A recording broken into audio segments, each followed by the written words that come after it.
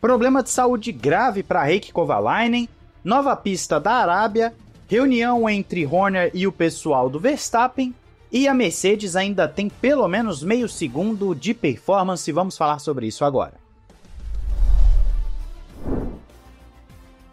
Olá, amigo do Ressaca Fórmula 1, seja bem-vindo a mais um vídeo. Eu sou Matheus Pucci, temos camisetas da Paddock BR para vocês, 100% algodão. Entra no link aí embaixo, cupom Ressaca F1 para desconto e frete grátis.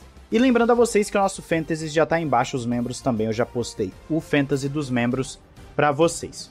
Vamos então às principais notícias. Hoje mais cedo já tivemos um vídeo mais, vamos dizer assim, bombástico. E agora vamos falar sobre o seguinte. Você lembra do ex-piloto de Fórmula 1 Heikki Kovalainen, que atualmente está no rally japonês, inclusive é o atual campeão? Pois é, ele vai ter que dar uma pausa na carreira, porque através de alguns exames mais completos antes da temporada iniciar, detectou um aumento da aorta no coração, então está proibido de fazer qualquer grande esforço físico. Kovalainen vai passar por uma cirurgia para poder corrigir o problema e então voltar às pistas. O próprio piloto de 42 anos afirma que foi apenas um exame assim de rotina. Ele não estava sentindo nada e aí decidiu fazer algo um pouco mais profundo. E foi aí que descobriu o problema, que é hereditário inclusive. Ainda bem que ele conseguiu descobrir isso antes de vir algum problema mais sério, né? De ter algum sintoma mais sério, às vezes até colocando em risco a vida dele. O problema é considerado grave e vamos torcer para que a cirurgia seja um sucesso e ele também possa retornar às corridas para defender o seu título lá no Japão em breve. Então tudo de bom para o Reiki Kovalainen. A Arábia Saudita revelou imagens do novo circuito de alguma coisa que eu não vou saber dizer o nome, que está previsto para receber a Fórmula 1 lá para 2028. Então nós teremos a Arábia Saudita em Jeddah até 2027 pelo menos. A pista nas imagens de computação que você está vendo aí parece até bem folclórica, interessante, com curvas de tudo quanto é jeito. Vão ter mais de 30 curvas, inclusive algumas peculiaridades, como por exemplo a primeira curva tem uma altura algo em torno de 70 metros. Inclusive, do ponto mais alto até o ponto mais baixo da pista terá uma diferença de 108 metros. O pessoal tá brincando nas redes sociais falando que é pista de Mario Kart, porque nas imagens que foram apresentadas, você tem uma coisa muito colorida, cheia de coisa para fazer em volta da pista, a pista passando por alguns locais um tanto quanto peculiares.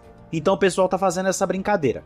Mas fato é que é uma pista sim, um projeto bem diferente do que estamos acostumados. Você deve estar tá vendo agora uma imagem aérea da pista, que ainda vai ser construída, né?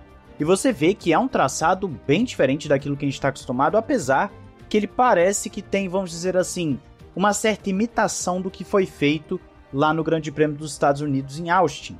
Ele parece que tem algumas curvas que lembram a de outros circuitos, mas é um projeto bem ambicioso, bem diferente e que vou torcer para ser muito bom, não somente porque nós queremos pistas boas, mas também porque a pista atual de Jeddah, na minha opinião, é muito boa. É uma pista que eu gostei bastante, é uma exceção que eu realmente vejo nessas pistas de rua aí.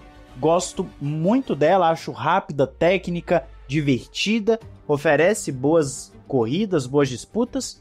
Então eu vou torcer para que essa que vai substituir seja boa, para pelo menos termos a substituição de uma pista boa pela outra. E aí, o que, que você achou desse projeto da Arábia Saudita? Fala aí nos comentários. Falando agora sobre Red Bull, Jos Verstappen não estará presente no Grande Prêmio da Arábia Saudita e começaram, obviamente, a falar muito sobre uma possibilidade de briga, de rusga entre o Jos Verstappen e o Christian Horner. Só que o motivo da ausência dele não é todo o problema que está acontecendo com a Red Bull recentemente é porque ele já tem um compromisso marcado há muito tempo no Rally na Bélgica. Então já estava programado para o Jos Verstappen não aparecer no Grande Prêmio da Arábia Saudita. Para o Christian Horner acaba sendo um momento ótimo, né? O timing ótimo, porque teve as declarações do Jos Verstappen nesse último Grande Prêmio, então o Christian Horner vai achar muito bom não ter a companhia do pai do Max durante o final de semana.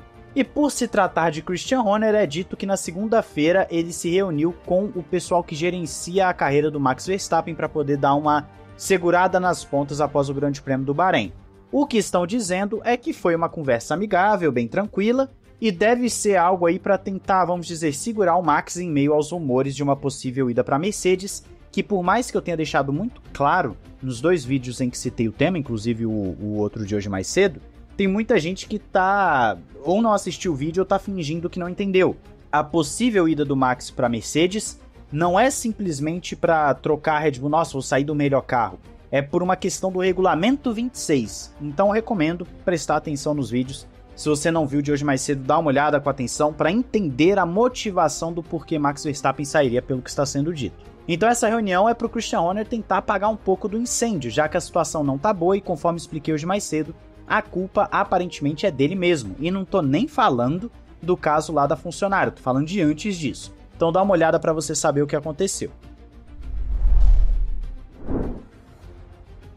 Agora vamos falar de Mercedes, que eu fiquei devendo para vocês falar da Mercedes no Grande Prêmio do Bahrein. E a informação importante que nós temos aqui do ritmo deles é que aparentemente, de acordo com o chefe da equipe Toto Wolff, perderam cerca de meio segundo por conta dos problemas com o motor. O Toto Wolff confirma que as equipes têm cinco ou seis configurações diferentes de resfriamento e a Mercedes para o Grande Prêmio do Bahrein utilizou o mais agressivo, aquele que tem um resfriamento menor no motor, mesmo sabendo que é um local muito quente.